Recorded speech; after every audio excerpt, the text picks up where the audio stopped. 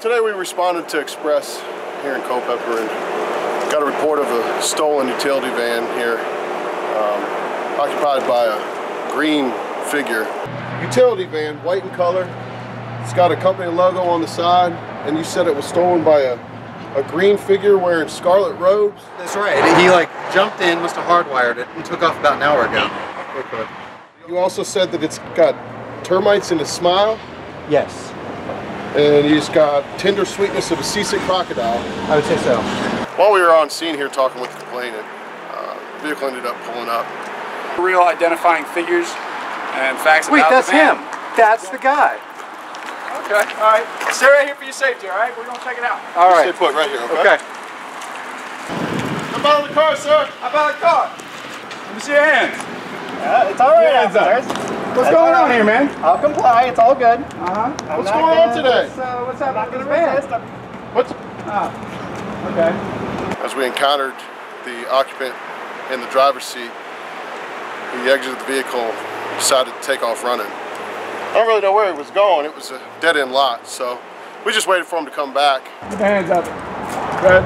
All right. I'm going to up. Nice and easy. I didn't even, Don't be so rough. I didn't, I touch you, man. What's- Oh, that was just your belly, sir. Oh, That's all right. Keep your hands up on the on the hood. All right. You're all right. Don't worry. You'll be okay. I didn't break the That's law. all right. We went ahead and, and detained him and conducted a search of the vehicle. Located an open eggnog container.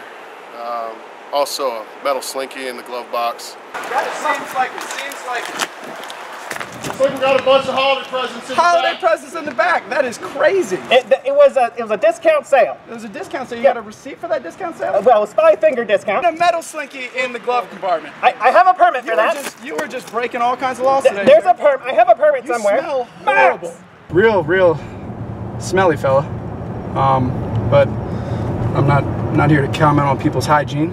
But honestly, just a real piece of work. What we gonna do about this? There is a way that you can redeem this. What's that? Hello, everyone. This season, we want a very special Christmas to all the local children in the area of Culpeper. And the way you can help is by donating to the Blue and Red Santa Project. This year, they hope to have 125 children out to go shopping on December 1st to help other children and families in need. So please give generously today and have a very Merry Christmas and happy holidays. Can I go now? Yep.